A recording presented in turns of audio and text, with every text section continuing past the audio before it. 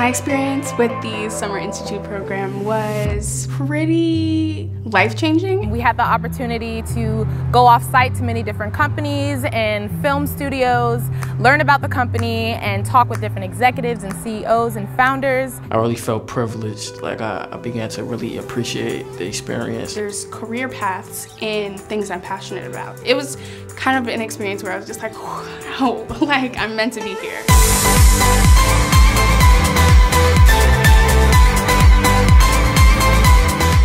I think the moment that inspired me the most was the capstone presentation. I think the capstone project prepared me for my career because it gave me some experience in a field that I'm looking to enter. My internship was with Lionsgate. Um, I actually had a chance to meet some great people over there, learn about a field that I've never um, knew about or experienced. So this really gave me a chance to see all new opportunities. I personally had the opportunity to serve as one of the interns at Lionsgate in their motion picture group department. And I just really appreciate Kamala Harris and Michael Burns specifically for introducing the Howard students to this program. I was really excited about the ESPYs. I've just been following it for so long, eight, nine years old, since I really started like staying on top of sports. I'm going to leave here knowing that wherever I go, I have a contact who wants to see me succeed. I will leave here knowing that I got through with both of my summer classes, I completed an internship, and I have made new connections that I will be able to use throughout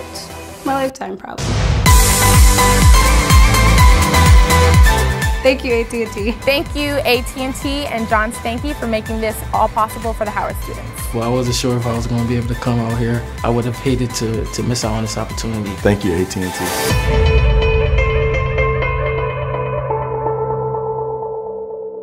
Thank you, AT&T.